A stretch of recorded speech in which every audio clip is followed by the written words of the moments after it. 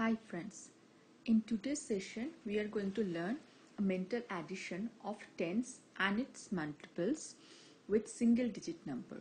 With this one, kids can do small addition within a fraction of a second. So for that, we will take one number like 6 and add it with 10. So what will happen? 6 will go simply to 0 position and 10 will become 16. Same will happen when we'll do 6 plus 20. 6 will go to 0 position and 20 will become 26.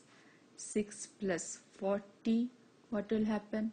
6 go to 0 position and 40 become 46. Now we'll take another example like 9. 9 plus 10 will be 19 as 9 is going to the 0 position. Similarly, 9 plus 50 will be 59. 9 plus 80 will be 89.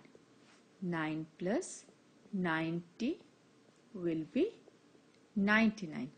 We are not going to show the addition of single digit number with hundreds as we don't want to confuse the kids right now. Let's take one step at a time. Hope you like this video and find this helpful.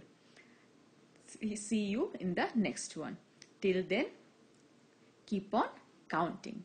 Thanks for watching.